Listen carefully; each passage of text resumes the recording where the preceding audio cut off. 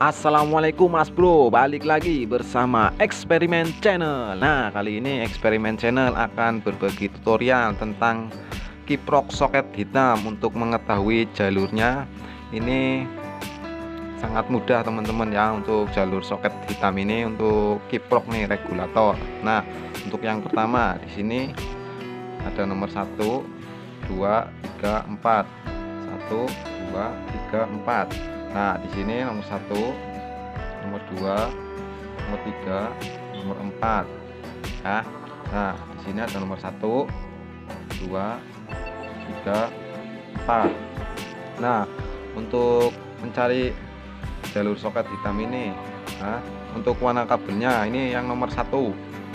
Nomor satu di sini warna merah.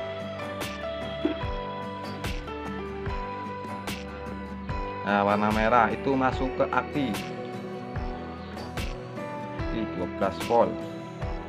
Ya, kemudian untuk yang nomor 2 di sini, ya, nomor 2 ini warna putih.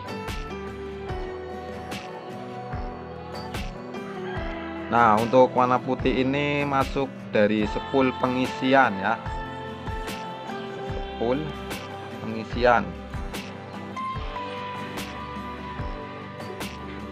Nah, kemudian untuk yang nomor tiga di sini, ini warna kuning.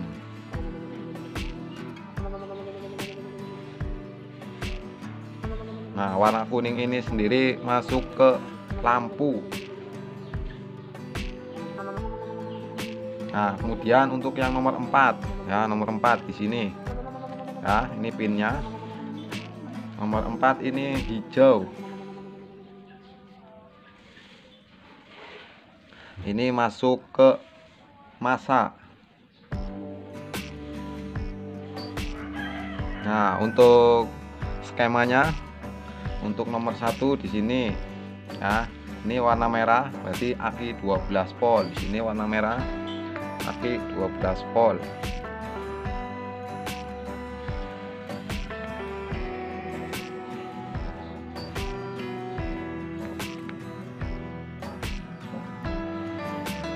nah aki 12 volt. Ya teman-teman. Kemudian untuk yang nomor 2 sini warna putih. Warna putih masuk ke sepul pengisian. Nah di sini. Sepul.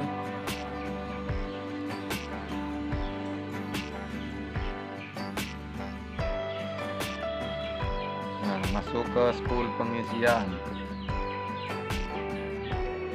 ya kemudian untuk yang nomor tiga di sini warna kuning warna kuning itu masuk ke lampu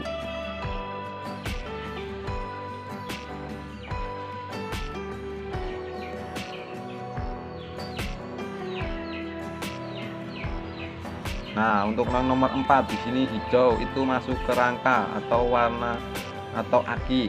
Ya, teman-teman. Nah, ini masuk ke aki. Oke mas bro. Dari aki ini akan disalurkan ke bodi atau rangka.